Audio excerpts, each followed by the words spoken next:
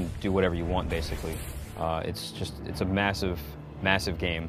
I'm a huge fan. Of this game, I have to play this game. It's going to be awesome, and luckily, it was awesome.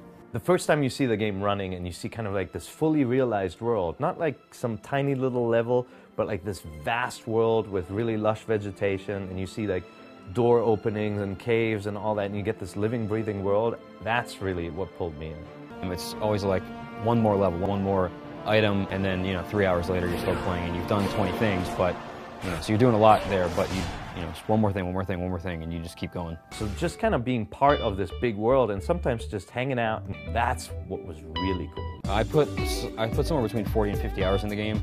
All, all total, I think I probably sunk about 60 hours. Over 100 hours easily. I probably spent 150 hours. So yeah, my pick out of these six, I think just because it offered so much more variety of gameplay than anything else out there, and it, it tried to encompass so many different things in, in one game. It's one of those games that when I'm sort of bored with everything else that's out at the moment, there's still a million things I haven't experienced. So that's the reason to come back to it. And that's why it's one of the best games of the year.